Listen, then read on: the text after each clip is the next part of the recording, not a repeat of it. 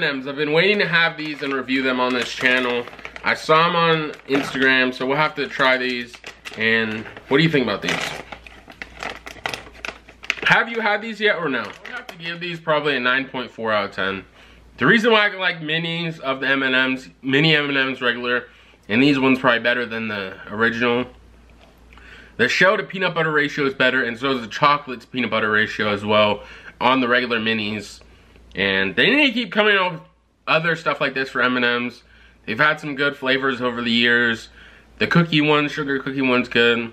The pretzel one, they need to keep coming out with these. Comment down below what you think and what's your opinion on this, but see you in the next video.